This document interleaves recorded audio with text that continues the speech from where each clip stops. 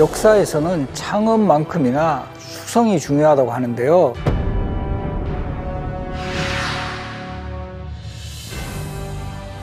진나라의 진샹 아시죠? 이 분열된 중국을 최초로 통일을 한 엄청난 성과를 만들고도 바로 다음 대에서 나라가 완전히 사라지는 그런 사례도 역사 속엔 매우 많습니다. 그런 점하고 서로 대비해 보면 500년 이상을 존속해온 조선 왕조 역사는 정말 굉장하다. 이렇게 이야기를 할 수가 있습니다. 이 조선 왕조가 이렇게 오랫동안 이어질 수 있었던 이유 확실하게 읽어 드리겠습니다. 안녕하십니까. 건국대학교 사학과 교수 신병주입니다. 조선을 건국한 창업군주 태조 이성계 이후 조선의 기틀을 제대로 닦은 왕, 바로 이 태종의 역할을 빼놓을 수 없다. 태종이라는 왕은 인간적으로 보면 상당한 또 아픔이 있어요. 조선을 건국하는 데 있어서 아주 그 중요한 역할을 했지만 아버지 이성계와 척을 지게 되면서 공신으로 뭐 책봉되지도 못했고 그리고 나중에 왕이 된 후에는 이 공신 세력이라든가 또 이 자신의 형제, 처가 심지어 상황으로 있을 때는 사돈 집마저 거침없이 제거해 나가는 또 이런 모습을 띠게 되는데요. 뭐 오죽하면 힐방원 이런 뭐 별명까지 많이 이제 이야기를 하고 있는데 하지만 그 실제 우리 역사 기록 속의 이방원은 어떤 모습이었을까요? 우리 이제까지 그 드라마 속에서 이방원의 여러 그 뭐 모습은 여러 배우들을 통해서 나타났는데 그 모습하고 정말 비슷할까? 그래서 오늘 조선왕 읽어드립니다에서는 역사 속에 기록된 진짜 이방원의 모습에 대해서 확실하게 읽어 드리겠습니다.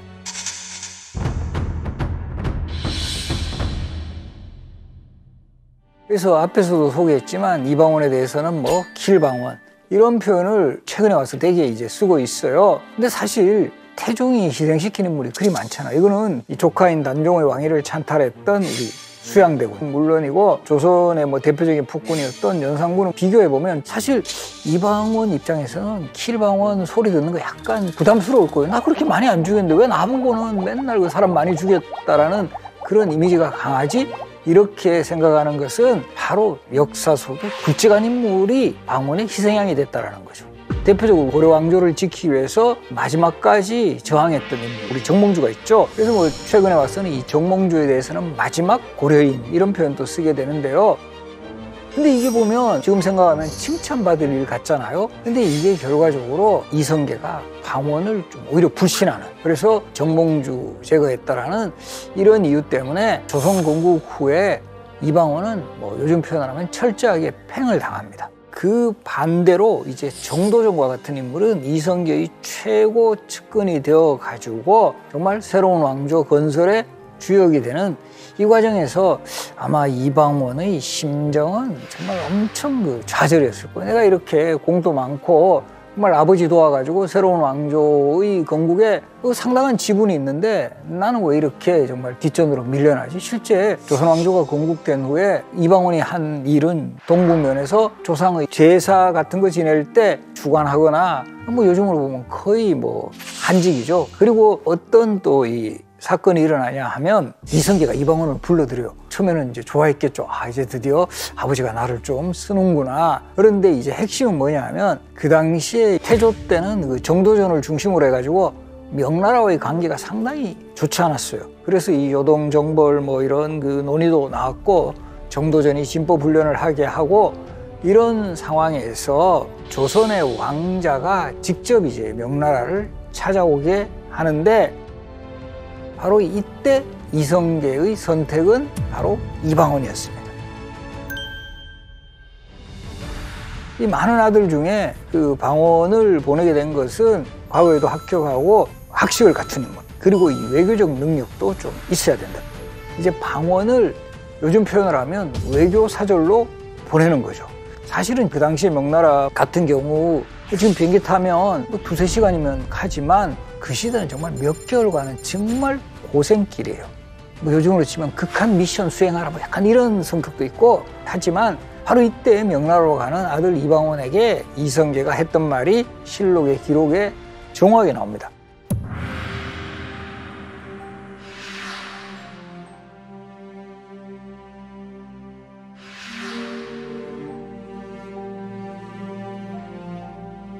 너희 체질이 파리하고 허약해서 말리 먼 길을 탈 없이 다녀올 수 있겠느냐. 이성계는 이 방언을 걱정하면 눈물까지 흘렸다라는 이런 기록이 나와요. 그래서 이때 이제 방언은 우리가 알고 있는 그런 이미지하고는 좀 다를 수도 있다. 우리 그리고 마침 태조 이성계의 초상화는 남아 있어서 그 얼굴 모습을 확인할 수 있는데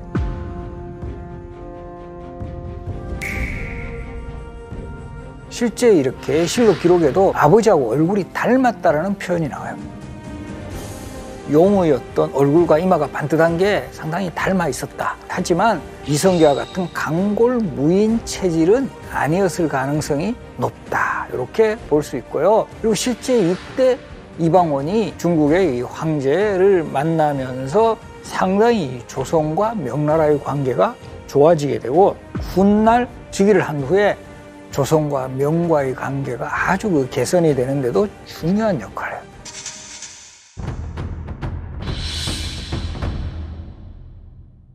아, 그러면 큰 공을 세웠으니까 인정을 해줘야 될 거 아니에요. 방언도 기대를 했을 겁니다. 그러나 방언의 기대만큼 배우를 받지 못해요. 왜냐하면 그때 가장 이성계의 마음을 움직였던 사람들은 바로 이 신도광우 강씨, 최고의 참모였던 정도전.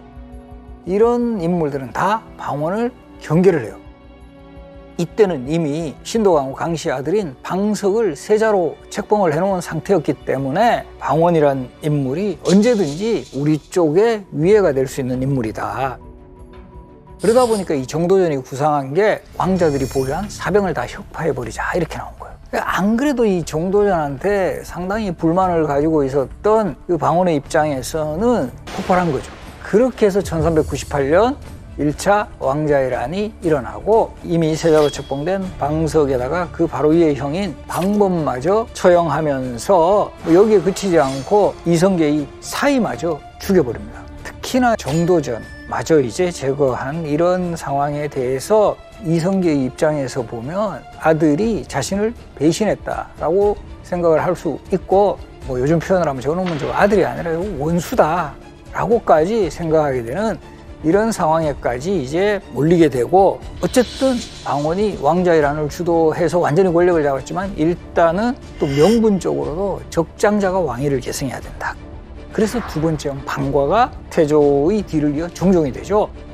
그래서 태종이 정종 다음에 이제 결국 1400년에 방간의 난을 계기로 해서 흔히 뭐 방간의 난, 박포의 난이라고도 하는데 세 번째 왕이 되었는데 이제 자신이 원수같이 여겼던 태종이 왕이 되니 태조의 마음은 상당히 불편했을 거예요. 그리고 이때면 이미 이성계의 나이는 거의 70이 가까이 되는 이런 고령의 나이였거든요. 그러니까 그 이방원 꼴도 보기 싫은 거예요. 그래서 방원이 이제 궁궐에 있는 개경은 진짜 스트레스의 진원지죠. 그래서 이 개경을 떠나 고령에도 불구하고 뭐 여러 지역을 돌아다니시게 돼요. 뭐 이런 생각도 많이 하겠죠. 아, 내가 뭐 어, 살아서 무슨 죄를 지었길래 이 말년에 내가 이렇게 돼버렸냐. 그러니까 이 부처님을 또 이때 많이 찾은 거죠. 그래서 이 절을 주로 찾아다니셨고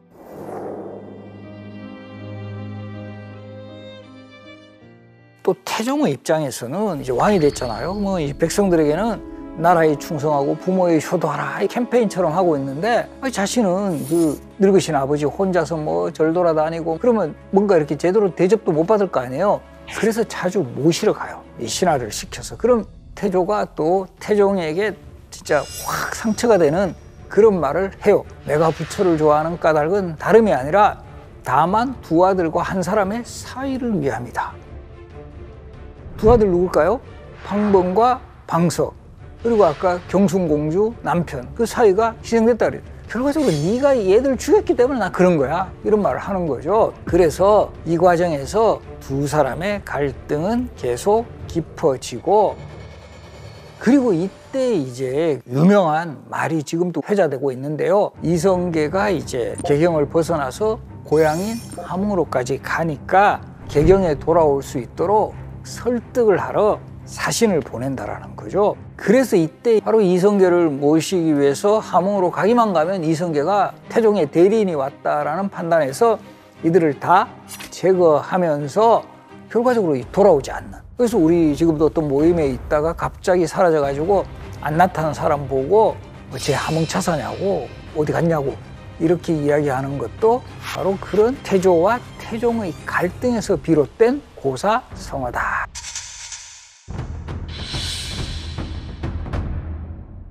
이성계가 홍길동처럼 여기 갔다 저기 갔다 하니까 이 태종의 입장에서도 부담스러운 거예요. 아버지한테 큰 사고 나면 자기 신도 상당한 그 책임을 면해줄 수가 없으니 여기다가 또 문제는 아버지 이성계도 그때 동국면 쪽에 갔을 때 상당히 군사적 준비를 한다. 소문 같은 게 막 나돌아요. 그래서 이 태종은 모의를 명분으로 별시위란 부대도 만들어 놓고 하지만 이성계가 그럼에도 불구하고 함흥에 있는 동북면 쪽으로 이제 행차를 하겠다. 실록 기록에 보면 이때 많이 울어요.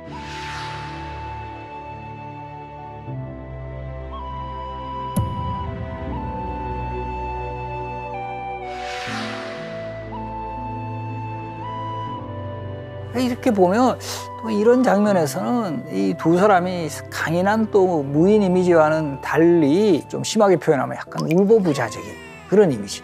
그래서 이건 아마 이 드라마에서는 이런 장면이 잘 안 나가는 거는 아주 강한 이런 모습을 보였던 그 태조나 태종이 막 갑자기 찌질 울고 이러면 이게 약간 그 감정이 떨어지잖아요. 그래서 안 하는데 실제 기록에는 이런 어떤 장면들도 꽤 나옵니다. 그리고 이때 이성계가 동북면에 이제 결국은 가게 되거든요. 근데 이때 이 조사이의 난이 일어나요. 1402년에. 동북면 안변을 거점으로 해가지고 난을 일으키는데 반란을 일으킨 명분은 신도광후 강씨의 원수를 갖겠다.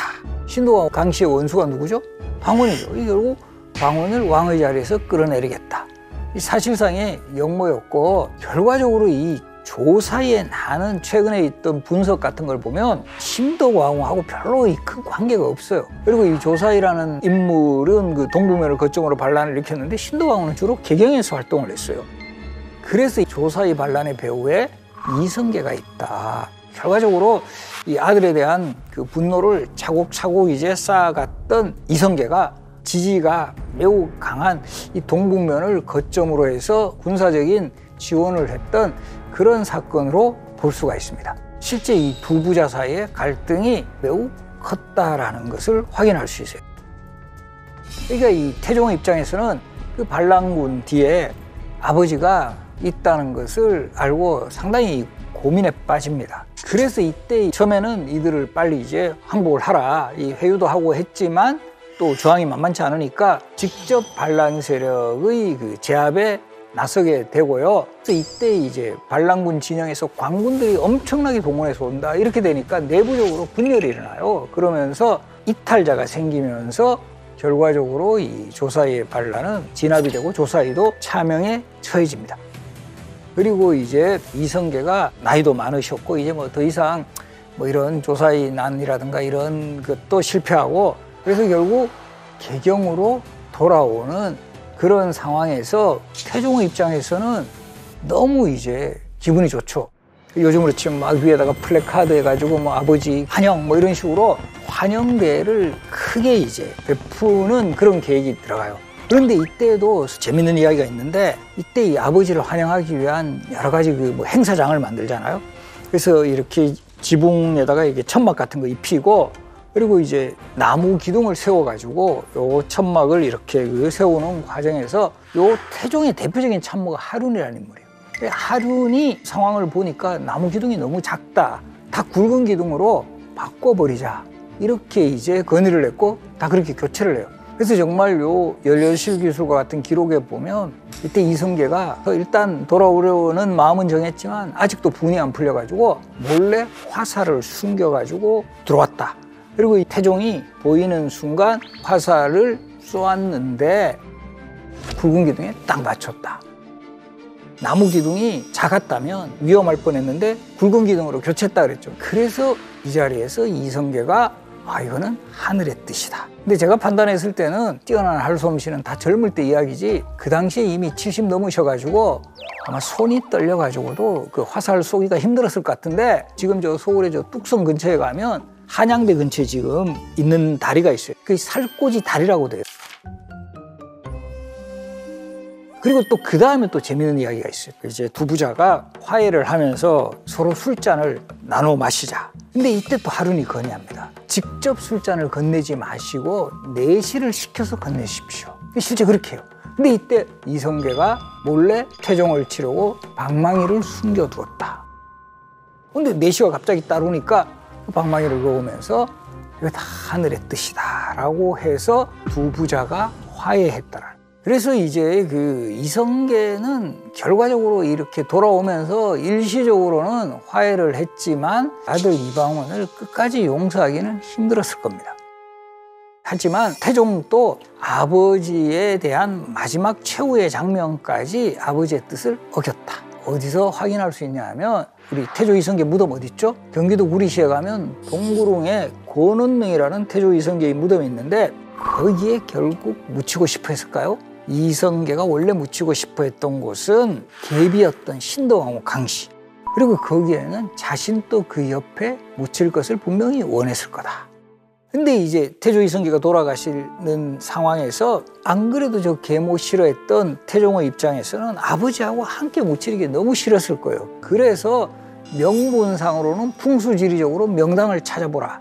그렇게 해서 현재 경기도 구리시 바로 그 기록에 보면 그 당시에는 양주 검암산 자락이라고 나와요. 여기에 조성을 하게 되었고 바로 그 다음에 본인이 그 아버지가 살아 계실 때는 차마 그 신동하고 강씨의 무덤을 옮기지 못했지만 아버지 돌아가신 후에 이 무덤을 지금의 서울 성북구 정릉으로 옮겨 버렸다. 지금도 가보시면 무덤에 가면 큰 돌들이 많아요. 그래서 이태종이 거기 거 돌 빼가지고 그 다리 만들어 이렇게 해서 실제 광통교 다리의 석축에 신동하고 강씨의 무덤에서 가져온 돌의 모습을 우리가 확인할 수 있어요. 그나마 그래도 타협한 것 중에 하나는 태조 이성계의 봉분에 바로 억새풀을 심었다. 이 억새풀이 그 당시에 태조의 고향인 함흥에서 가져온 거라는 거죠. 고향을 그리워했던 아버지의 또 마지막 모습은 그래도 최소한의 효도는 해야 되겠다. 지금도 우리 건원릉 가보시면 그 억새풀이 이렇게 조성되어 있는 것도 바로 이런 점입니다.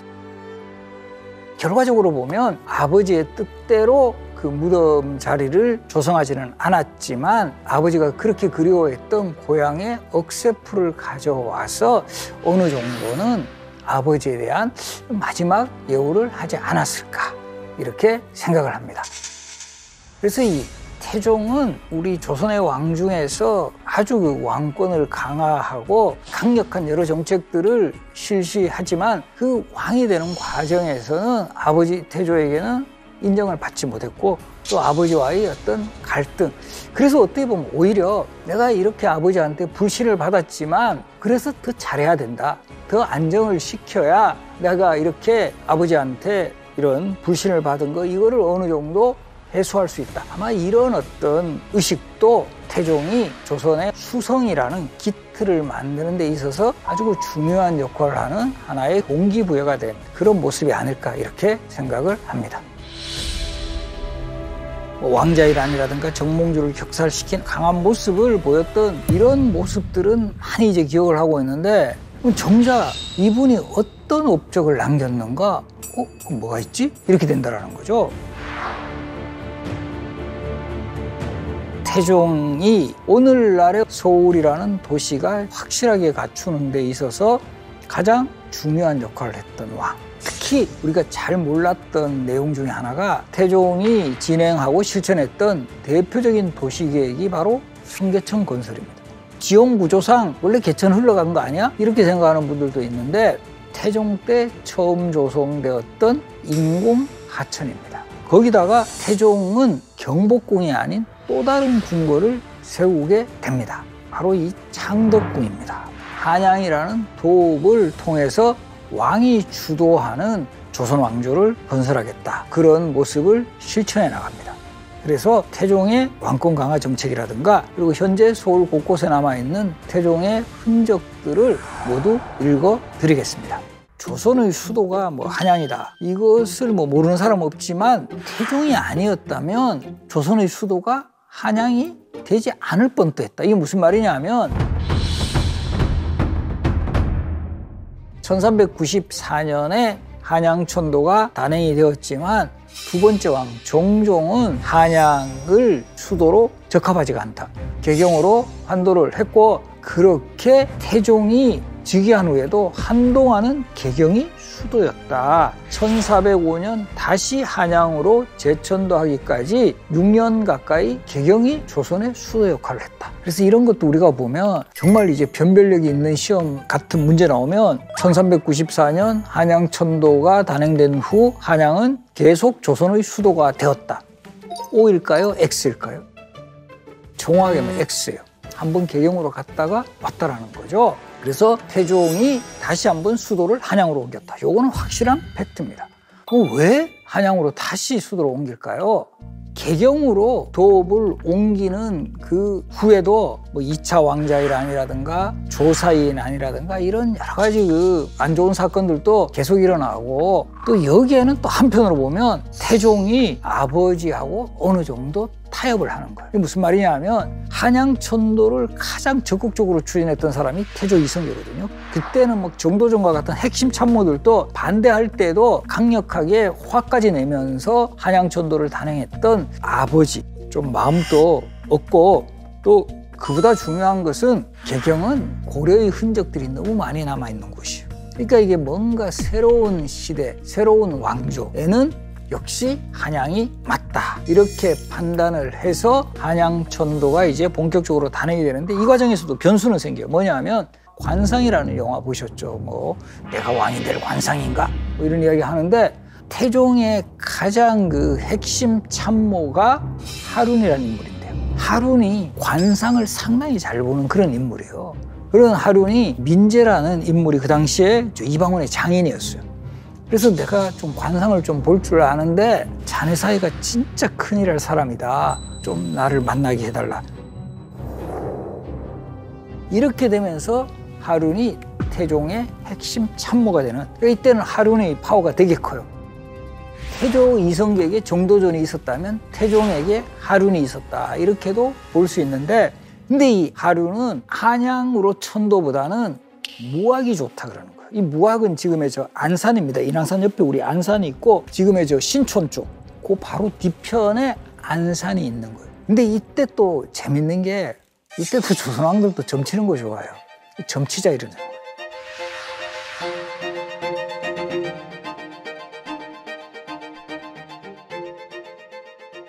이때 경합이 한양, 북악산을 주산으로 하는 거예요. 무학을 주산으로 하는 뭐 지금의 신촌 일대. 3번이 개경 그대로. 이렇게 세 개가 이제 후보로 올랐는데 개성은 이흉 일길 세 번 던졌는데 두 번은 중하고 한 번은 길하다. 한양은 이길 일흉 두 개가 길하고 하나는 중하다. 그래서 결과적으로 한양으로 결정이 돼요. 그래서 참 이것도 보면 동전 잘못 던져가지고 개경으로 되면 어쩔 뻔해서 이러지만 이때 이미 태종의 결심은 한양 제천도였고 그러다 보니까 이건 결과적으로 태종의 의도대로 된 거다 이렇게 볼 수 있다라는 거죠.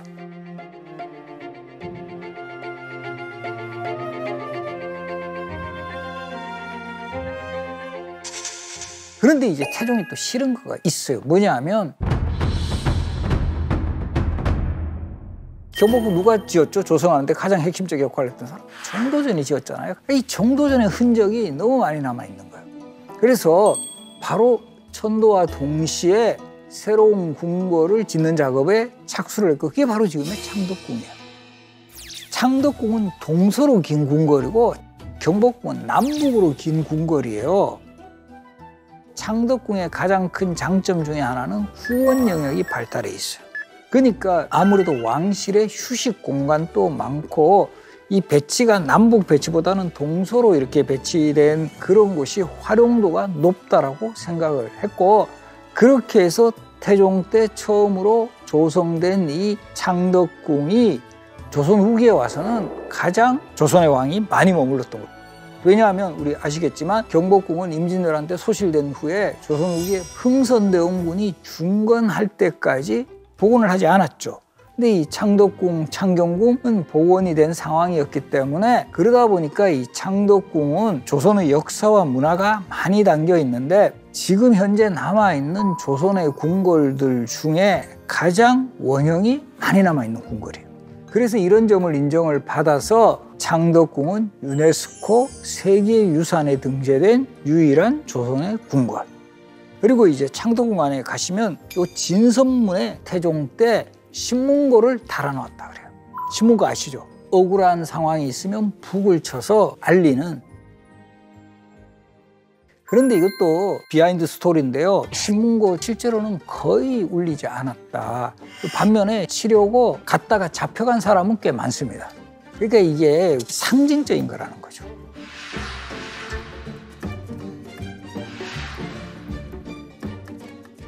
그리고 이 태종은 경복궁 또 손을 보기 시작합니다. 특히나 마음에 안 든 게 정도전이 중심이 돼가 경복궁을 처음 설계했을 때 규모는 755칸이다 이렇게 나오거든요. 야 왕의 거처치고는 좀 작지 않아? 왜?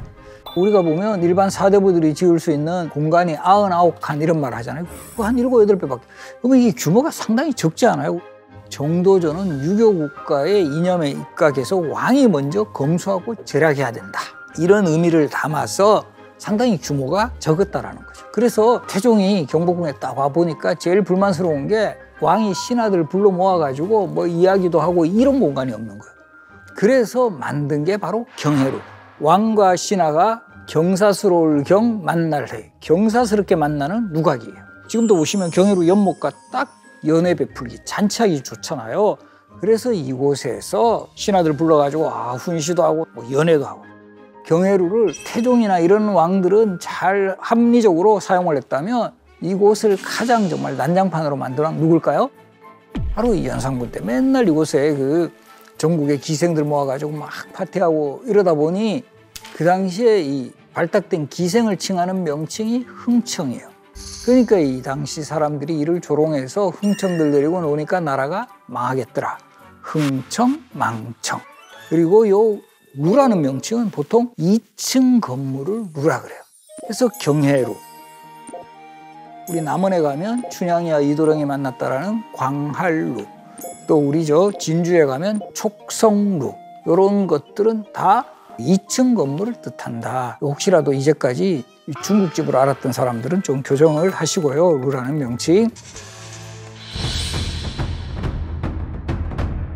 경복궁 말고도 태종은 어떤 게 가장 문제점으로 인식을 했냐 하면 바로 비만 오면 홍수가 심하다라는 거죠.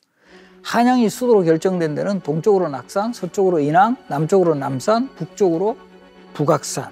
조선 시대는 주로 백악산이라고 했어요. 그래서 이네곳 산을 둘러싼 한양 도성 18km를 조성을 해서 도시 방어와 백성을 관리하는 데는 유리하지만 비만 오면 이게 이 산에서 내려온 물들이 요 남산에 막혀가지고 바로 못 빠져나가는 거예요. 그래서 홍수 피해를 방지하기 위해서는 서쪽에서 동쪽을 관통하는 그런 개천을 만들자. 이렇게 해서 조성한 게 바로 청계천이고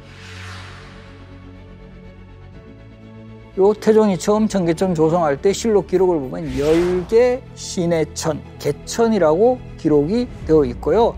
청계천이라는 이름은 일제강점 시기 이후에 본격적으로 사용된 이름이고요. 청계천 조성 사업은 바로 이 한양이라는 도시 구조에 눈을 뜬 태종의 안목과 실천 의지고 바로 이 서울이 이제 점차 큰 도시로 성장할 수 있는 기반을 마련해 주게 됩니다.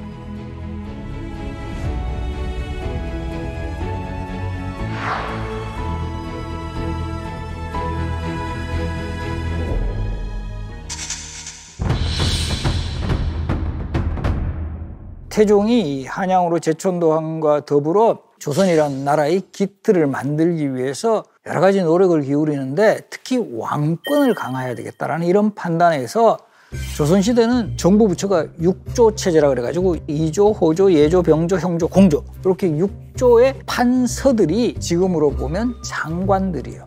그래서 그 전까지는 의정부 서사제라 해서 삼정승들이 합의하는 요즘으로 치면 뭐 국무회의 같은 게 최고 의사결정을 하게 했다면 육조의 판사들이 나한테 직접 보고해. 이렇게 해서 왕이 바로 다이렉트로 결정하는 이런 시스템을 만들어 나갔다라는 거죠. 그래서 육조 직계제를 실시하고 또 이런 왕권이 강화되려면 백성들을 확실하게 파괴해야 된다. 호패법을 처음 실시해요. 호패는 그 당시에 16살 이상의 성인 남자들이 차고 다니는 이름, 요즘으로 치면 신분증 같은 거예요. 그러니까 왕족 관리 그리고 이 신분이 천한 노비까지 남성들은 모두 이 호패를 차고 다녔는데 이 흥미로운 것은 신분마다 재료도 달라서 2품 이상은 상하로 만들었고요. 그리고 이 5품 이상은 황양목, 일반 서민들은 잡목으로 만들었고 거기에다가는 자신의 이름이라든가 주소를 쓰게 했는데 일반 서민들은 얼굴색과 수영까지 이 디테일하게 적은 거예요. 이건 아무래도 이제 뭐 혹시라도 뭐 범죄라든가 이런 상황이 발생하면 우리 지금 같으면 사진 대조하듯이 그 당시에는 사진이 없으니까 얼굴색, 수염 이런 것까지 이렇게 기재를 하게 했다. 그리고 이제 태종이 후계자 정비 시스템도 처음으로 만들어 나가요. 앞으로 왕이 될 왕세자가 공부하는 이런 시스템을 우리가 서연이라고 해요. 왕이 신하들하고 함께 공부하는 자리를 경연이라고 하고 그래서 이 서연 제도를 첫 번째 해당자는 양녕대군이 되는데 또 양녕대군이 왕세자 교육을 착실하게 받을 수 있는 이런 시스템을 구축을 했습니다. 왕권이 안정되려면 태종의 입장에서는 외척이 권력에 참여하는 거 이거 상당히 문제가 있다 이런 판단을 했고 그 과정에서 태종은 처가를 되게 견제를 합니다. 바로 원경왕후 민씨, 영민씨 집안인데 어떻게 보면 이 왕이 되기 전까지는 상당히 어떻게 보면 정치적 동지였는데 특히나 이 원경하고 민씨는 태종이 왕자의 난을 일으킬 때 후원자 역할을 합니다. 왜 대표적인 게 정도전이 주도해가지고 사병을 혁파해가 무기를 전체적으로 다 반납하라 할 때 이 무기를 사실은 민씨 집안에 숨겨 놓았거든요. 이게 결과적으로 본인이 왕이 되는 데 있어서 아주 그 중요한 그런 그 역할을 해요. 왕이 되고 난 후에는 원경하고 민씨하고 상당히 사이도 좋지 않고 이 처가 세력이 상당히 권력을 행사하는 것을 견제를 해나가요. 이때 이 원경하고 민씨 집안이 세력이 강해질 수밖에 없었던 게 양녕대군이 세자로 있을 때 바로 이 민씨 집안에서 자라게 되거든요. 여기 이태종의 입장에서는 훗날 왕이 될 세자하고 이 민씨 집안, 즉 외척하고 이게 상당한 영향력 같은 걸 발휘할 수 있다. 이런 판단을 했고 또 거기다가 자신이 왕이 되는 데 있어서 가장 정말 적극적으로 싸워준 처남들 민무구, 민무질, 민무율, 민무회 이들 외척을 제거해야 되겠다라는 판단을 하게 되고 그 과정에서 결국은 아주 큰 사건이 일어나요. 양녕대군이 이제 어느 정도 성장하고 이런 상황에서 태종이 세자에게 선의의 뜻을 밝혀. 내가 이제 일선에서 물러나겠다. 이제 양녕을 왕으로 삼겠다. 근데 우리가 보면 조선시대에도 여러 왕들이 선의파동을 일으키는데요. 그때 신하들은 어떻게 해야 정답일까요? 아니 됩니다. 아직 전하 건강하시고 이럴 때 왕의 자리에서 물러나면 어떻게 하십니까? 다 그렇게 해야 되는 거예요. 그때 뭐 아유 뭐 그렇게 하기 싫으면 그 뭐 방패 시죠 뭐 이래버리면 바로 그냥 뭐 처형당하거나 유배가거나 이러죠. 이런데 이게 뒤에 민씨 형제들을 타겟으로 삼을 때 선의의 뜻을 밝힐 때 표정이 밝았다. 이게 결과적으로 불경의 이유가 되어버리는 거죠. 황당하지 않나요? 우리도 보면 어떤 회의 같은 거 할 때 뭐 이렇게 그냥 끄떡끄떡 할 수도 있는데 이게 이제 불경이다, 불충이다. 이렇게 되는 거죠. 그래서 일단은 유배를 보내요. 유배를 보냈다가 나중에는 자진, 스스로 죽게 만드는 그런 모습을 보이는데 보면 우리 역사에서 보면 외척이 바로 하면 상당히 왕권이 불안해져요. 대표적으로 우리 고려 시대 뭐 이장임의 난이라든가 이런 사건도 뭐 일어났고 막 이런 부분도 하나의 그 반명교사로 삼았을 거고 특히 이제 개인적으로 보면 이 왕비와의 갈등도 한 몫을 했다. 그래서 이 왕비와의 갈등이 또 한 몫을 하니 처남들도 정말 뭐 요즘 표현하면 꼴 보기 싫은 거예요. 그리고 이때도 보면 그런 분위기 속에서 형제들의 발언 같은 거를 고변하는 사람들이 막 나타나요. 그런 상황 속에서 민무휴, 민무회까지 유배 보냈다가 자진시키는 그야말로 원경하고 민씨 집안은 완전히 뭐 그냥 거의 박살을 내버립니다. 이 태종의 입장에서 본다면 그리고 이 외척은 이 왕권에 전혀 도움이 되지 않는다. 그리고 이런 모습은 훗날 아들인 세종에게 왕위를 물려주고 상황으로 있으면서 바로 이 세종의 장인이자 자신의 사돈이었던 시문을 처형한 것에서도 확인을 할 수 있는데요. 어떻게 보면 악역 담당이라고도 할 수 있어요. 욕은 내가 얻어먹어도 그래도 이 조선이라는 나라를 안정시키기 위해서는 어쨌든 누구든지 이거는 감수해야 될 일이다. 이런 판단을 했던 것 같아요. 그리고 거기에 정점을 찍은 것이 가장 내가 이런 악역을 담당한 만큼 나의 후계자는 정말 제대로 된 그런 인물이 등장을 해야 된다. 이 결과적으로 태종은 14년간 세자의 자리에 있었던 양령을 회의시켜버리고 세 번째 아들 충령을 후계자로 삼는 결단을 내립니다. 그래서 전체적으로 본다면 태종이라는 왕은 태조와의 갈등 속에서 왕의 자리에 오른 만큼 상당히 부담도 컸을 거예요. 나의 책임이 정말 엄청나다. 그리고 그런 과정 속에서 하나하나 그런 것들을 실천해 나가요. 일단 왕권을 안정시켜야 이 나라의 기틀이 정비가 되고 그리고 그 과정에서 서울이라는 도시도 사람들이 잘 살아갈 수 있는 그런 과정에서 새로운 궁궐, 창덕궁을 조성하고 또 청계천 공사를 통해서 서울이라는 도시에 어떻게 보면 원형을 만든 왕이 태종이었다. 그리고 이런 과정 속에서 이 권력 있는 외척이 정치에 참여하는 것을 경계하기 위해서 외척들을 정말 어떻게 보면 잔인할 정도로 제거하고 이 시점에서는 나의 후계자는 능력 있는 인물이 해야 된다. 장자 상속이라는 원칙보다는 능력 있는 사람이 그래서 이 태종이 바로 세 번째 아들 충령으로 후계자를 물려주는 이 상황은 우리 역사 속 최고의 또 선택 장면으로 기억이 되고 있습니다. 조선의 세 번째 왕 태종은 누구보다 왕권을 중시했던 왕입니다. 그리고 유교적인 질서, 명부론에 있어서도 뭐 의미를 둔 왕이었어요. 그렇기 때문에 처음 후계자를 세울 때도 유교에서 중요시하는 장자로 하여금 승계를 시켜야 된다. 그런데 결과는 그렇지 않았죠. 이 양녕대군을 세자의 자리에서 쫓아내고 세 번째 아들 충녕대군을 왕에 올리게 되는데 태종이 왜 이런 결단을 내렸을까요? 조선의 왕 읽어드립니다에서는 첫째를 제치고 세 번째 아들이 왕이 된 진짜 이유 밝혀드리겠습니다.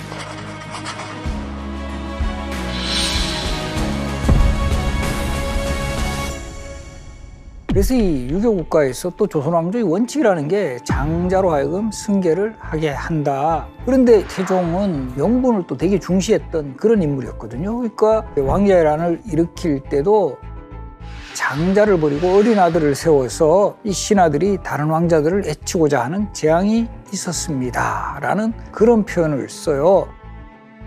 결과적으로 아버지가 장자 대신에 막내 아들 세워서 문제가 생긴 거지 나는 그래서 정당방위로 왕자이란을 일으켰다. 이런 표현을 써요. 그리고 또 두 번째 형 방가가 왕이 되는 과정에서도 어쨌든 본인이 왕이 될 수 있음에도 불구하고 그 당시에 장자였던 방과를 왕으로 올리는 어떤 명분 쌓기는 상당히 신경을 썼던 그런 왕이에요. 그런 그 태종이었던 만큼 네 명의 아들 중에 양령, 효령, 충령, 성령 중에 바로 이 양령이 11살 되던 1404년에 공식적으로 세자로 책봉을 하게 됩니다. 이때 양령이 세자가 되는 과정에서 태종이 한 발언이 묘한 여운을 남깁니다. 원자는 남보다 뛰어난 자질이 있다. 근데 여기는 아마 약간 립 서비스 같고 본 뜻은 바로 그 뒷부분에 나오는데 양형에 대해서 예의와 겸양을 알지 못하니 어찌 어진이와 친하겠으며 고훈 이런 것들을 잘 알지 못하니 어찌 정치를 보필하겠는가 이런 말을 하거든요.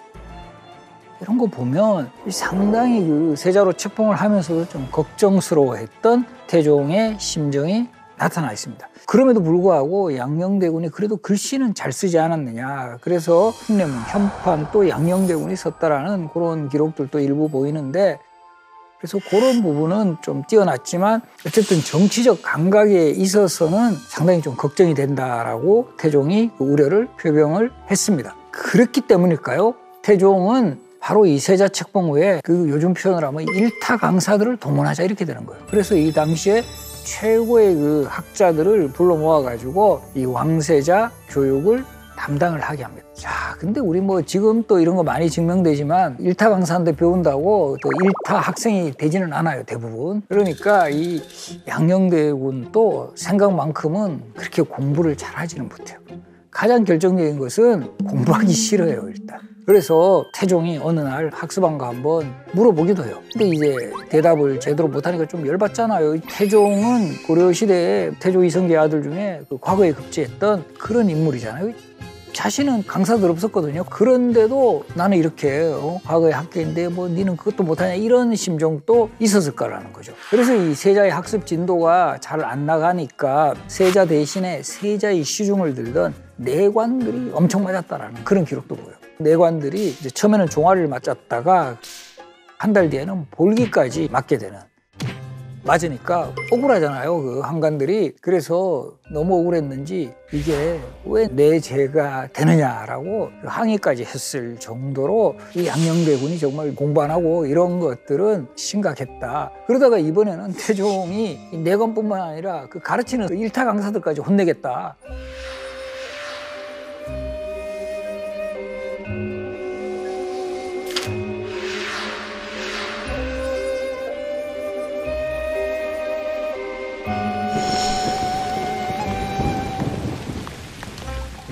참 정말 심각했던 그런 상황이었고 그런데 태종이 무서운 그런 이미지가 있잖아요. 되게 막 혹독하게 아들 뭐라고 했을 것 같은데 또 의외로 이 태종이 또 마음이 약한 그런 부분. 그 앞에서 잠깐 소개했지만 약간 잘 울기도 하고 약간 그 좀 감성이 또 강하고 이러다 보니까 아주 뭐 혹독하게 불러가지고 때리고 막 혼내고 이러지는 잘 못해요. 그러다가 이제 좀 고민 끝에 양녕대군이 14살이 되던 해에 혼인을 시킵니다. 그 다음에 또 중요한 미션도 부여합니다 당시 명나라 황제에게 이제 신년 인사를 하러 가는 100여 명이 넘는 사신단을 이끌고 양녕대군이 책임자로 명나라를 가게 합니다. 이제 앞으로 또 왕이 될 인물이니까 외교적 역량도 기르고 통솔하는 거 이런 것도 한번 익혀봐라. 근데 이때도 보면 태조하고 태종 때의 상황하고 정말 대잡을 할까 이런 장면들이 반복이 되는데 태조하고 태종도 막 서로 붙잡고 눈물 흘리고 막 이런 거 기억하시죠? 이때도 세자를 배웅하면서 세종이 눈물을 흘렸다. 세자 양녕대군은 요즘으로 치면 자리 배치 같은 거 낮은 위치에 있으니까 이걸 바꿔달라라고 할 정도로 좀 당당했던 모습도 보였고 비교적 큰 무리 없이 사행을 잘 마치고 이제 돌아오게 됩니다. 그래서 이런 모습을 보니까 태종도 좀 공부는 덜해도 괜찮아질려나라고 생각을 하는데 이제 양녕대군에게 더 큰 문제가 생겨요.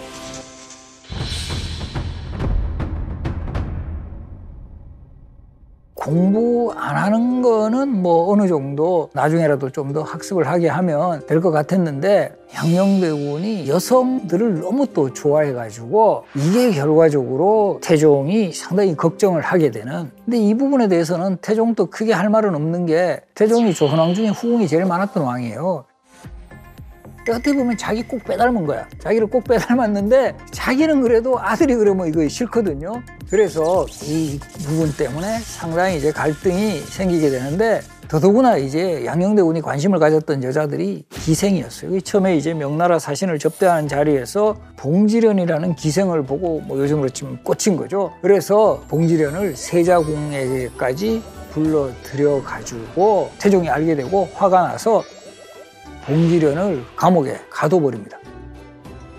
그러니까 이 양녕대군이 자신이 좋아하는 그 봉지련 가뒀다고 단식 투쟁에 났습니다. 우리 예나 지금이나 부모들이 자식이 밥 안 먹으면 그 성격 강했던 부모들도 확 그 기울어집니다. 그죠? 그러니까 이때부터도 이 양녕대군이 이제 또 단식 투쟁의 원조쯤 되는데 이 태종 안 풀어줄 것 같죠? 양녕대군 혼낼 것 같죠? 바로 풀어줍니다. 풀어주면서 선물까지 줘요. 태종의 입장에서는 이 뭔가 혹독하게 야단치는 것보다는 내가 잘해주고 이러면 개선이 되지 않을까라는 그런 판단을 했는데 이게 잘못된 판단이었어요. 그 이후로도 정말 양녕대군의 기행은 계속 반복이 돼가지고 세자궁에 개구멍 같은 걸 뚫어가지고 여자들 막 출입시키는 거예요. 더더구나 이제 공부는 뭐 이때도 뭐 거의 뒷전이었어요. 그래 놓고는 수업은 안 나가면서 활쏘기 하러 다니고 또 이 매 사냥도 정말 좋아요. 우리 이것도 매 사냥 오해하시는 분이 있는데 매를 사냥하는 게 아니라 매를 이용해 가지고 꼼 같은 걸 사냥하는 걸 우리가 매 사냥이라는데 사실은 활쏘기 매 사냥은 태종 전공이에요. 태종이 정말 매 사냥을 좋아했다라는 기록이 있고 그래서 양녕대군뿐만 아니라 그렇게 또 우리 약간 모범생이었던 우리 세종대왕까지 매사냥하러 맨날 아버지가 가면 같이 따라갔다라는 기록이 있고 그래서 이런 상황들이 계속 이제 지속이 되니까 결국 태종이 폭발하게 되는데요. 앞에 소개했듯이 봉지련이라는 기생 이외에도 소행, 칠점생, 초궁장 이런 여인들이 계속 등장해요. 그래서 예전에 제가 뭐 어떤 프로그램에서도 이렇게 이야기했는데 양녕대군이 우리 역사에 공을 세운 점이라면 기생들이 실명을 알리는데 아주 그 중요한 역할을 하는 인물이 바로 양녕대군이다. 그래서 이렇게 이 세자를 불러가지고 너가 잘못을 뉘우치지 않으면 너 말고도 다른 아들도 내가 세울 수 있다. 그러나 이때까지만 해도 그야말로 경고지 뭐 특별하게 확 세자를 바꿔야 되겠다라는 이런 생각은 없었을 것 같아요. 그러다가 양녕대군이 기행이 계속 늘어나는 반면에 세 번째 아들 충녕대군은 요즘으로 치면 긍정적인 요소들로 계속 점수를 쌓는 거예요. 충녕대군은 대군 시절부터도 되게 똑똑하고 뭐 인품도 훌륭했다라는 이런 인물이었는데 어느 시점부터 양령도 이 충령을 경계를 했던 것 같아요. 그래서 잔치에서 만난 자리에서 충령은 보통 사람이 아니다라고 이제 표현을 하기도 했고 태종이 동생인 충령을 아주 그 칭찬하니까 양령이 공부는 잘할지 몰라도 용맹하지는 못합니다. 라고 하면서 충령을 조금 낮게 이렇게 보는 그런데 이제 충령도 항상 뭐 착하고 고분고분한 그런 모습만은 보여주지 않아요. 그래서 어느 날 이제 양녕대군 세자죠. 화려하게 옷을 차려입고 주변 사람들한테 내가 지금 어떤가 어, 이제 딴 사람들 다 그냥 뭐 칭찬합니다. 어, 너무 잘 어울리십니다. 어, 옷 어디서 사셨어요? 막 이러고 막 있는데 충령이 딱 이런 말 했다 그러죠. 마음을 바로 잡은 뒤에 용모를 닦으시기 바랍니다. 이런 이야기를 했다. 그래서 이제 실록 기록에서 보면 충령이 양령의 어떤 잘못된 행실이라든가 이런 거를 충고하는 그런 장면도 나오고요. 이런 모습이 세종이 뭔가 이제 양령의 대안으로 자신을 생각을 하지 않았을까라는 이런 그 견해도 있는데 사실은 이런 부분은 요 태종실록의 기록들은 다 세종 때 이렇게 편찬이 되면서 이미 그 왕자 시절부터 왕이 될 어떤 그 인품이라든가 판단력을 갖추고 있는 인물임을 강조하는 그런 기록으로 보는 것이 타당할 듯 합니다. 그런데 양양이 이번엔 더 큰 사건이 터요. 어떻게 보면 이제까지 좀 양형이 가까이 했던 여인들은 봉지련이라든가 소행, 칠점생, 초공장 다 기생신분이었어요. 근데 이번에 등장하는 인물은 어리라는 인물인데 어리는 요즘으로 치면 유부녀예요. 불륜 관계. 이제 앞으로 왕이 될 인물이 고위관료의 첩하고 문제를 생기고 더 화가 난 거죠. 처음에 이런 그 상황에 대해서 태종이 종묘에 가서 반성문, 종묘는 조선시대 역대 왕과 신주를 모시는 공간이었고 조선 유교 국가에서는 이 조상에 대한 이런 것이 상당히 강하잖아요 예우가 조상에게 이렇게 제가 잘못했습니다라고 비는 거는 최대의 어떤 반성이다. 근데 이때도 여러 에피소드가 있는데 이 반성문이 세자가 직접 쓴 게 아니라 이 병기랑이라는 분이 대신 써줬다.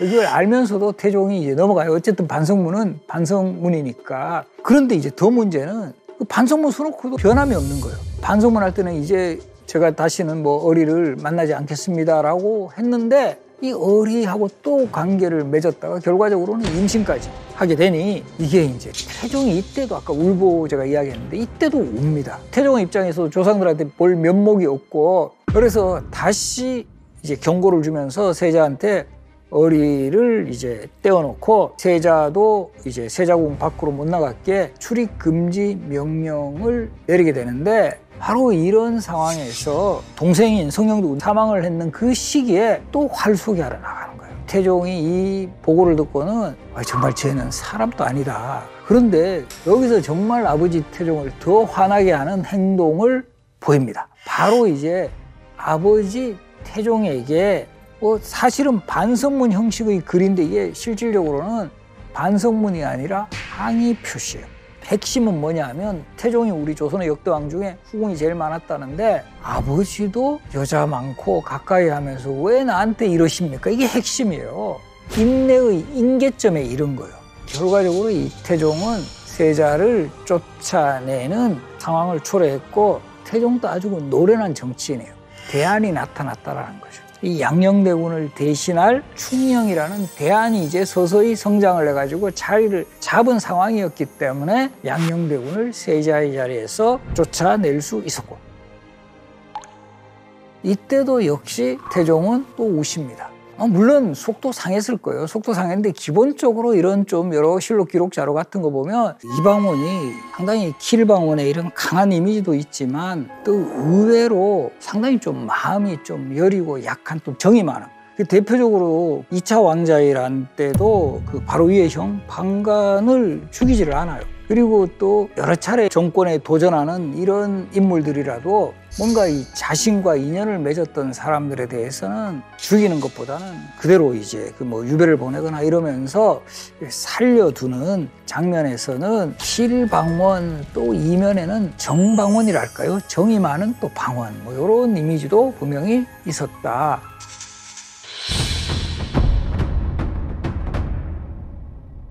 그래서 이제 결국 세 번째 아들 충령이 대안으로 등장을 했죠. 그러면 또 많은 분들이 어, 두 번째가 효령이면 효령한테 가야 되지 않는가? 이렇게 생각하시는 분들도 있는데 효령대군에 대해서는 여러 자료에 보면 태종이 효령대군이 왕이 될 수 없는 이유에 대해서 몇 가지를 제시하는데요. 효령은 너무 빙글에 웃기만 한다 이런 표현을 해요. 너무 이제 결단력이라든가 이런 게 좀 없다라는 거예요. 왕의 제목이 아니다라고 판단을 했고 효령대군 스스로도 왕이 될 그런 생각은 거의 없었어요. 효령대군은 조선시대 왕실 인물 중에 가장 불교에 십찬 인물입니다. 그래서 이 왕조로 있을 때부터 불교 행사를 가장 지원을 많이 하고 뭐 불경 간행이라든가 그래서 우리 지금 또 대표적으로 관악산 연주함에 가시면 그 옆에 효령각이라는 효령대군을 모신 사당이 있어요. 그리고 연주함이라는 절을 지을 때도 효령대군이 상당히 기여를 했다. 그리고 우리 지금 저 종로 인사동 쪽에 가시면 원각사지 10층 석탑, 저 원각사지 10층 석탑을 조성하는데도 이 효령대군이 큰 역할을 했다. 그래서 효령대군은 세종대왕보다 훨씬 오래 사세요. 91세까지. 그래서 저는 그 비결로 이 불교에 심취하다 보면 일단 채식하죠. 그리고 절은 높은 산에 있잖아요. 이쪽 운동 많이 하잖아요. 절에 와 공기 좋은 데 가죠. 거기다가 부처님 믿으면 속 편하시죠. 그래서 91세까지 요즘으로 치면 이 웰빙적인 삶을 살았다. 그래서 이때 태종이 내세운 논리가 택현, 장자상속이 원칙이지만 필요한 경우는 현명한 사람을 선택할 수 있다. 그리고 이때 이미 박은이라든가 유정현 같은 측근 신하들한테 뭔가 그런 의도를 표현을 해요. 그래서 실제 양령을 폐하는 그런 전체 회의에서 신하들이 현명한 사람을 선택하는 것도 하나의 방법일 것 같습니다.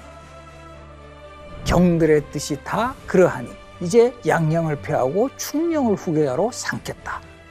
1418년 6월에 일이었고 저는 이것이 바로 우리 역사 속 최고의 선택 장면이 아닐까. 태종의 세종 후계자지만 그리고 더 또 의미 있는 것은 세자로 삼은 지 두 달 만에 1418년 8월 10일에 스스로 상왕이 되면서 태종은 세종이라는 왕을 탄생시킵니다. 이 결과적으로 세종 시대를 더욱 탄탄하게 하기 위해서 바로 내가 스스로 왕의 자리에 물러나겠다. 이때 실록에는 이렇게 표현합니다. 나는 호랑이 등에 탄 지 18년이 되었다. 이런 말을 해요.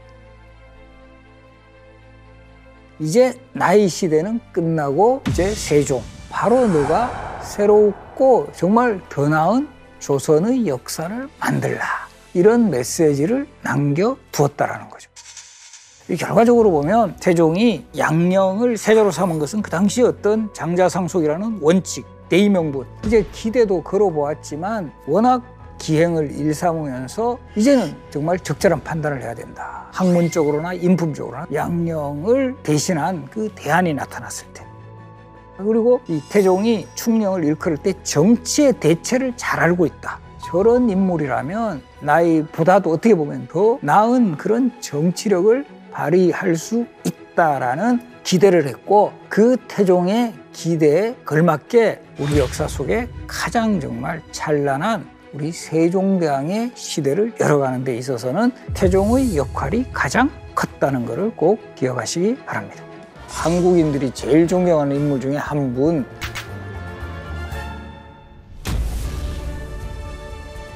세종하면 꼭 대왕이라고 부를 정도로 그 이름에 걸맞게 백성들도 정말 잘 살피고 또 당시의 조선이 태평 성대로 나아가게 했던 정말 많은 업적들을 남긴 그런 왕입니다. 우리가 아는 세종은 한동안은 아버지 태종의 말 한마디에 상당히 신경을 쓸 수밖에 없고 눈치도 뭐 계속 봐야 하는 그런 시간이 있었다는 사실은 잘 모르고 있습니다. 뭐 교과서 같은 데는 이런 내용은 거의 다루지 않으니까요. 오늘은 바로 조선의 네 번째 왕 세종을 읽어드릴 시간입니다. 특히 우리 조선시대 왕 중에 세종의 신입 시절은 특히 혹독했어요. 왜 그랬을까요? 바로 아버지 태종이 아직까지 살아계셨고 상황으로 상당한 권력을 행사했어요. 그 과정에서 소원왕은 집안이 완전히 풍비박산이 나게 되는 이런 시련을 겪게 되었고 세종은 그 상황에서 거의 뭐 모른 척 할 수밖에 없는. 왜? 아버지가 그런 조치를 취했기 때문에 가슴도 아프고 이거 뭔가 항변하고 싶었지만 참을 수밖에 없었던. 그런데 예전에 우리 했던 그 드라마 뿌리 깊은 나무 보면 거기에 대한 과인의 답은 지랄하고 자빠졌네. 이것이 그러나 토론을 통한다라든가 합리적으로 신하들을 뭐 설득을 해나갔지 실제 기록으로 나타나는 세종의 모습은 막 화내고 뭐 정말 욕은 안 하셨습니다. 왕이 된 후에도 세종이 아버지 태종의 눈치를 볼 수밖에 없었던 이유는 무엇일까요? 왜냐하면 그 아버지가 누군가요? 킬방원. 세종이 왕위에 오르는 데 있어서 감독 겸 주연 역할을 했던 사람이 태종이에요. 양녕대군을 세자로 책봉을 하고 난 후에 14년 동안 세자 생활을 했던 양녕대군을 결국 아웃시키고 바로 세 번째 아들 충령을 후계자로 삼은 인물이 태종이거든요. 거기에는 양녕대군을 쫓아냈을 뿐만 아니라 바로 위에 형 효령대군이 있음에도 불구하고 충령을 후계자로 삼은 거는 태종의 강력한 의지다. 그리고 더 특별한 것 중에 하나는 보통은 조선시대 왕은 본인이 권력을 행사할 수 있는 데는 돌아가셔야 후대왕에게 권력이 승계되거든요. 근데 이례적으로 1418년 6월에 세종을 세자로 삼은 후에 8월에 즉 두 달 만에 왕의 자리에 오르게 합니다. 사실 세자 시절이 거의 없이 정말 이렇게 두 달 만에 왕이 된 사례는 거의 조선시대에는 전무후무한 뭐 기록 같은 거예요. 그래서 우리 조선시대 왕의 즉위식 중에서 가장 어떻게 보면 이례적인 즉위식이 세종의 즉위식이에요. 왜일까요? 대부분의 조선시대 왕의 즉위식은 선왕이 돌아가신 후에 장례식이 메인 행사예요. 즉위식은 장례식 중간에 잠깐 왕이 이제 상복을 갈아입고 잠깐 즉위식 그 행사를 했다가 다시 상복을 갈아입는 그러니까 이 즉위식이 뭐 경축 행사가 아니에요. 매우 슬픈 행사인데 세종의 즉위식만은 경축적인 행사가 되죠. 왜? 아버지가 살아 계셨잖아요.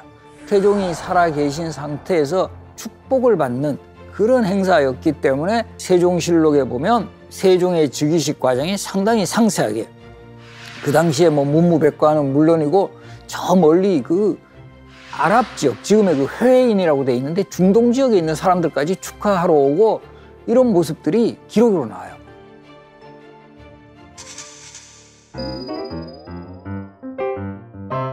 세종에게 왕위를 이렇게 물려주는 또 이유 중에 하나는 본인이 사망하는 경우 당시의 후계 구도 문제가 상당히 꼬일 수도 있다는 거죠. 이미 장자로 세자까지 경험을 했던 양녕대군을 지지하는 세력도 나타날 수 있는 거고 그런 것을 미연에 방지하기 위해서 확실하게 세종시대를 열어주기 위해서는 내가 살아서 후계는 역할을 해야 된다.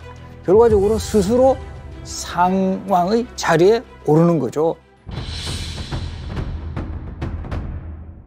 태종이 왕이 올랐을 때는 정종은 물론이고 태조까지 살아 계시니까 정종은 상왕, 태조는 태상왕 이렇게 됐어요. 근데 이번에 또 세종이 왕이 올랐을 때도 아버지 태종은 물론이고 이때까지도 정종도 살아 계셨어요.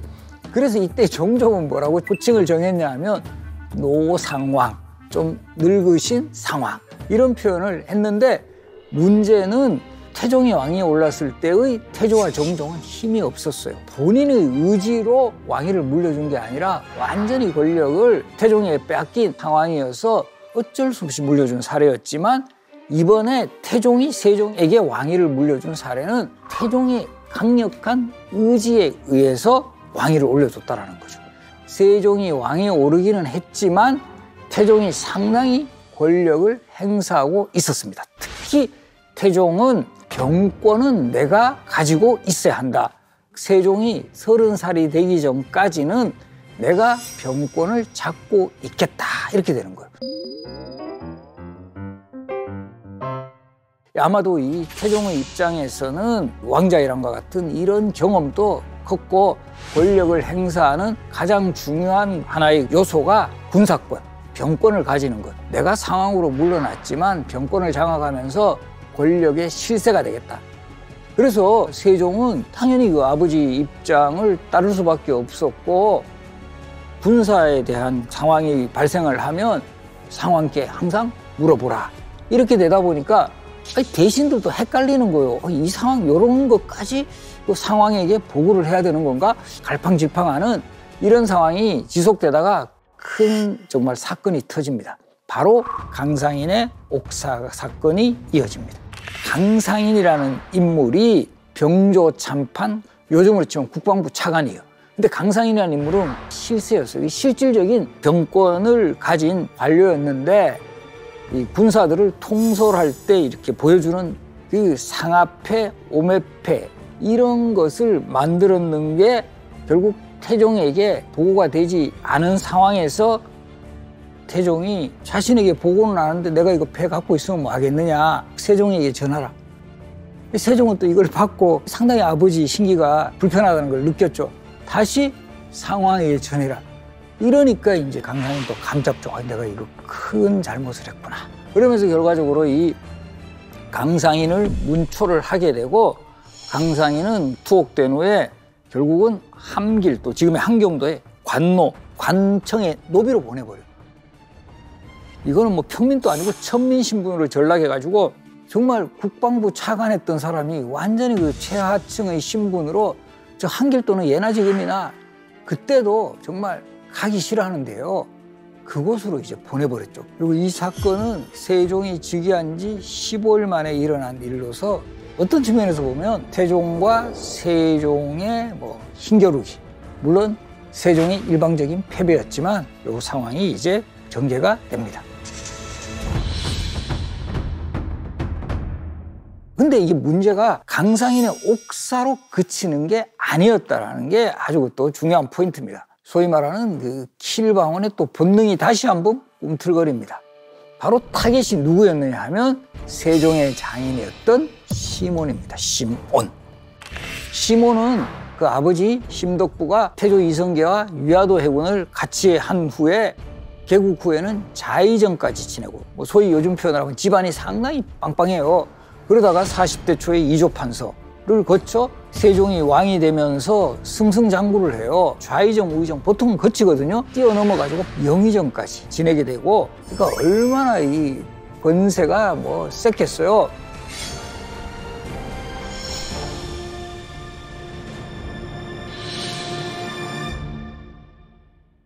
이제 세종의 즉위를 알리는 대표 사신 사은사라고 하는데 바로 여기에 시몬을 파견을 해요.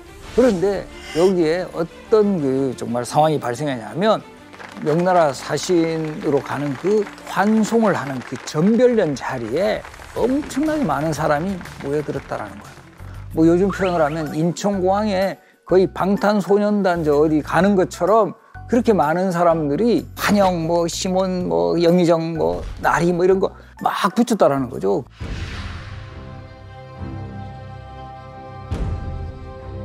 도성안이 텅빌 정도다. 다 갔다라는 거죠 거기에.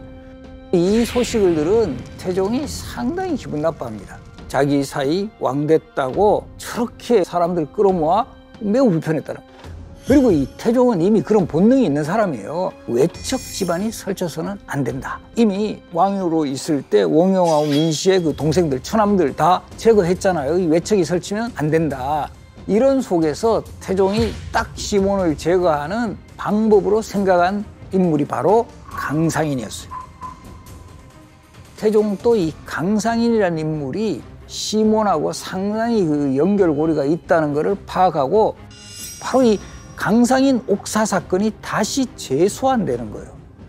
그때 압슬형이라 그래가지고 이 무릎을 이렇게 탁 지어 누르는 정말 심한 고문을 한 거죠. 그러다 보니까 결국 강상인의 입에서 태종이 원하던 말이 튀어나옵니다. 나라의 명령은 한 곳에서 나와야 한다고 생각해서 그랬습니다. 태종을 정말 뒷방 늙은이처럼 그냥 취급을 하는 그런 무서운 발언이 그러면서 덧붙입니다. 영의정인 시몬도 군사는 마땅히 한 곳에서 명령이 나와야 한다고 하니까 옳다고 했습니다. 태종의 입장에서는 시몬이 실질적으로 기획자다 이런 판단을 내리게 되었고 내가 예전부터 주상이 서른 살이 될 때까지 군사 일은 내가 챙길 것이다 라고 했는데 어떤 측면에서 보면 나의 영린을 건드리는 거다 이렇게 된 거죠. 아마 요즘은 이 고문에 관한 자백은 이거 효력이 없는 걸로 알고 있는데 그때는 아주 강한 효력까지 있었어요. 그러니까 이 태종의 입장에서는 자신이 원하는 답이 나왔죠. 그래서 이 관련자가 전원 처형이 되는데 강상희는 이제 결국 거열형에 처해지는 상황까지 이제 이루어졌고 마지막 강상인의 멘트가 뭐였냐면 나는 죄가 없는데 매를 견디지 못해 죽는다. 그만큼 고문이 심해서 나 억울하다. 근데 이 사건이 시몬이 저 중국 가 있을 때요.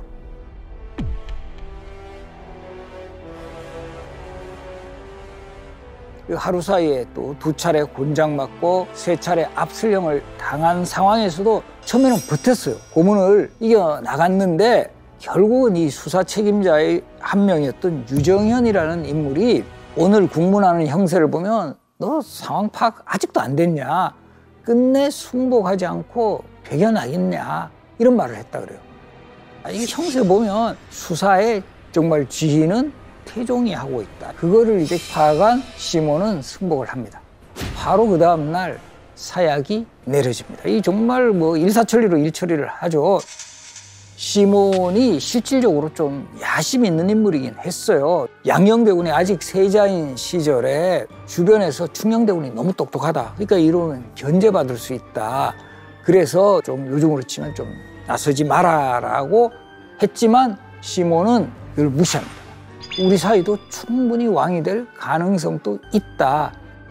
그러다 보니까 그런 것들을 읽은 태종. 안 그래도 외척에 대해서는 상당한 그 알레르기 반응을 보였던 태종의 입장에서는 이 시몬이란 인물의 싹부터 확 잘라내야 된다. 이렇게 됐다. 결과적으로 이 표적 수사다라고 볼 수 있고 시몬은 사약을 받았고 시몬의 부인은 관노비로 보내져요. 뿐만 아니라 이 시몬의 딸 소원왕후의 자매들 역시 노비가 됩니다. 이렇게 처갓집이 풍비박산 났지만 세종은 이때까지도 거의 뭐 진짜 아무 말도 할 수 없었던 허수아비 왕처럼 반기를 들지 못했어요.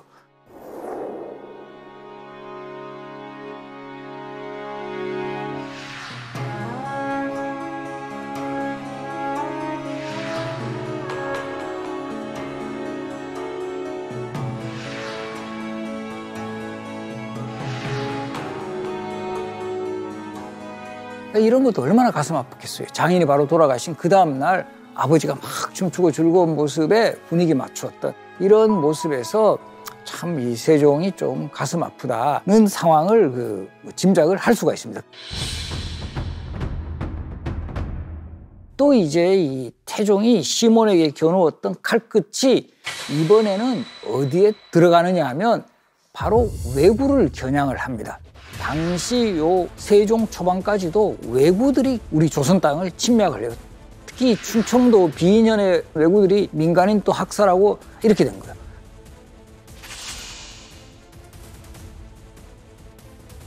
태종이 여전히 병권을 장하고 있는 그 상황에서 태종이 본때를 보여줘야 되겠다 해서 그 당시에 군사들을 다 모아서 외구의 본거지인 대마도를 정벌을 하자 이렇게 된 거예요.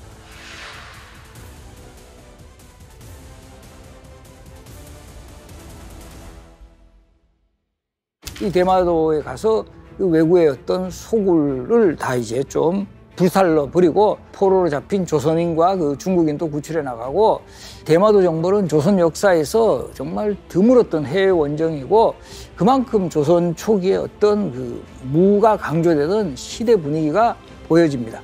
그런데 이 대마도 정벌이 일단은 성공했는데 어떻게 보면 반쪽의 승리예요. 처음에는 어느 정도 성공한 것처럼 보였지만 후반부에는 조선군도 타격을 받았는데 왜구들이 그 산속으로 숨으니까 그러다 보니까 이 병력이 정말 뭐 우왕좌왕하고 이러다가 오히려 도망간 왜구를 공격하다가 많은 피해자가 또 생겨나는 이렇게 되었고요. 결과적으로 태종의 입장에서는 대마도 정벌을 추진을 했고 이것이 패배한 전쟁이다 하기에는 본인의 이미지도 상당히 약하니까 대마도 정벌에 나섰던 사람들한테 상당한 포상을 통해서 승리한 전쟁으로 이렇게 뭐 포장을 했달까요? 대마도 정벌에서 보면 세종보다도 훨씬 태종이 적극적이었고 우리가 흔히 세종 때의 업적으로 기억하고 있지만 실질적으로는 정권을 장악하고 있었던 태종의 강력한 의지로 추진했던 정벌이었습니다. 태종은 되게 사냥을 좋아했던 사람이에요. 사냥도 하고 또 별장도 여러 군데 짓고 그곳을 이제 옮겨 다니면서 말년을 보냈는데 후반부의 태종은 그 상황으로 제의한 기간은 정확하게 4년이에요. 그 4년 정도 보내다가 1422년에 사망함으로써 어떻게 보면 태종의 사망 이후에 세종은 이제 완전히 아버지의 그늘에서 벗어나 정말 성군으로서 확실하게 자신의 위치를 잡아가는 그런 시간들을 보내게 됩니다. 너무 강한 아버지에게 눌린 아들이었지만 아버지의 또 강력한 추진력이라든가 이런 것들도 배워나가고 또 거기에 더해서 세종 자신이 가지고 있는 뛰어난 그런 뭐 학문적 자질이라든가 품성 그리고 이 시대 상황을 정확하게 포착하는 그런 안목들이 더해지면서 우리가 알고 있는 본격적인 세종 시대는 아버지의 승하 후에 정계에 나간다. 이렇게 이해하실 수 있습니다.